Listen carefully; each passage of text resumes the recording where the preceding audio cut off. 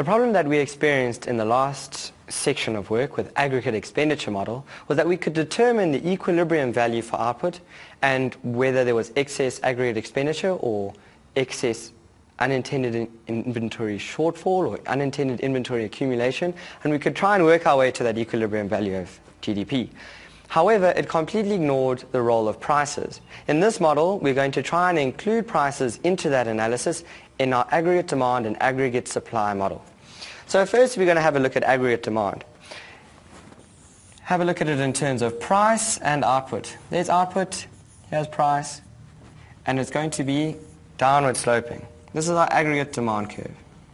This is not the same as a demand curve. This is the demand on aggregate by all the consumers in the economy, and it doesn't have the same reasons for being downward sloping. There is no income and substitution effect in this example. But since it is involved with all the goods in the economy, the substitution effect is irrelevant because you can't substitute between, the substitution effect between goods is included in this model. Also, the income effect there has nothing to do with individuals' purchasing power. However, the three effects that determine this downward sloping nature of the aggregate demand curve are the real balances effect that says that as the price increases, the purchasing power of everybody's savings on aggregate will decrease. And since the purchasing power of everybody's savings on aggregate decreases, they're going to demand less output. So as price increases from there to there, demand decreases from there to there for output. So P1 to P2, demand decreases from Y1 to Y2.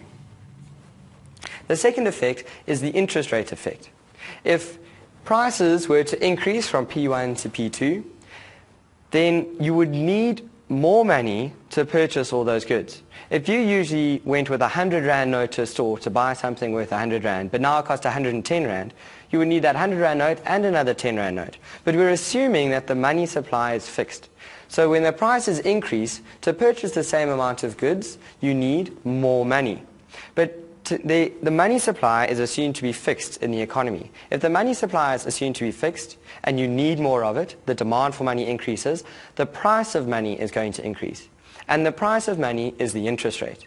Now, if the interest rate increases, it's going to decrease investment, which is why we saw there was an inverse relationship between interest rate and investment on that investment demand curve. So if the interest rate increases, investment decreases, and the consumption of durable goods is also going to decrease.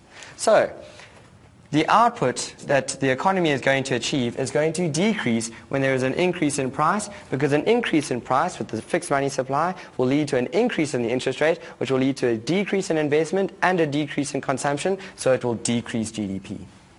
The last effect is the foreign purchases effect.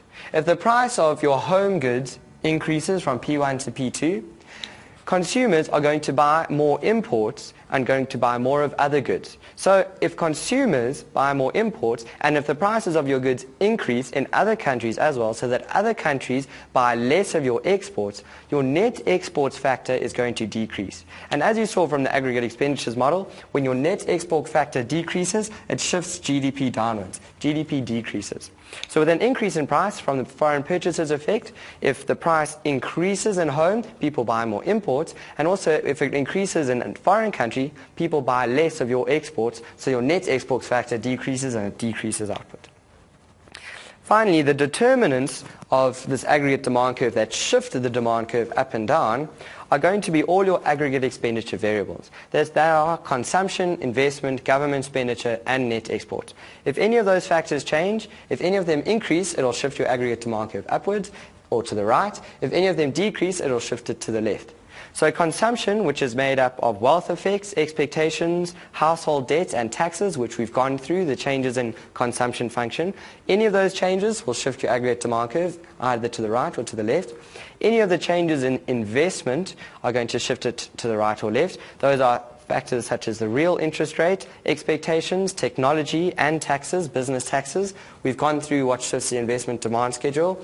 Any of those things that shift the investment demand schedule could shift this AD curve either to the right or the left. And then government spending, increase will shift it to the right, decrease will shift it to the left. And finally, net exports, which are affected by the income abroad, by a country. If a country overseas has a greater amount of income, they're going to purchase more of your exports and it'll shift to the right. However, if your exchange rate depreciates or appreciates, it'll shift to the left. If it depreciates, it'll shift to the right.